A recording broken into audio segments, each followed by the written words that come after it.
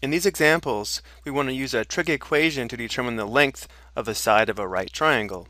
So looking at our diagram here, if we use the angle that measures 34 degrees, this side of the triangle would be the opposite side, and this side here is opposite the right angle, so this would be the hypotenuse.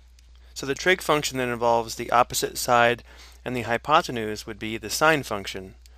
So our trig equation is going to be the sine of 34 degrees would be equal to the ratio of x to 27 inches.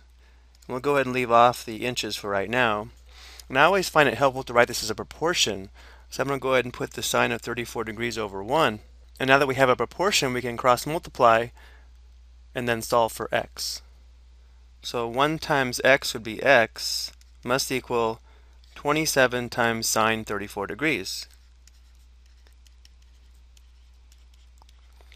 And now we'll go ahead and go to our calculator to determine this product.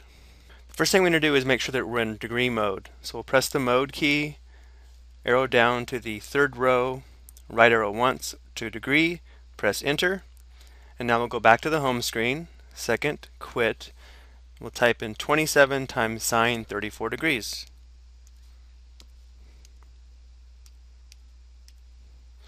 And x is approximately 15.1 inches.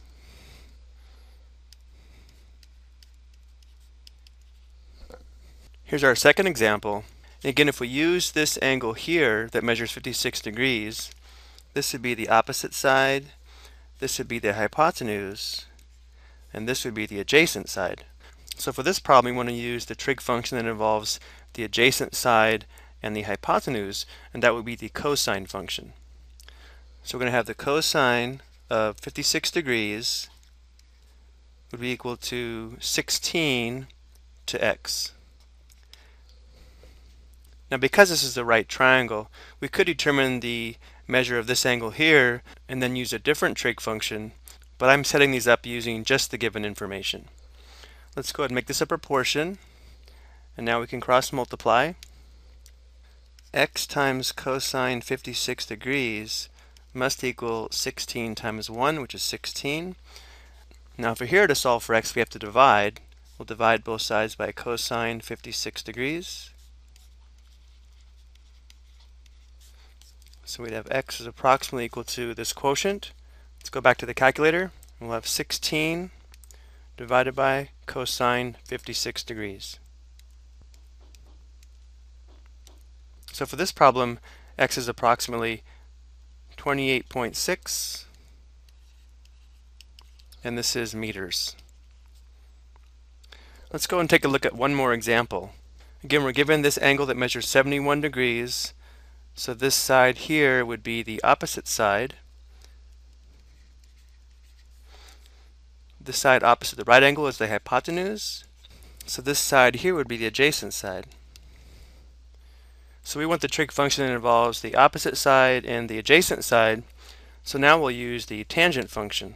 The tangent of 71 degrees is equal to the ratio of the length of the opposite side to the length of the adjacent side. So x to 5.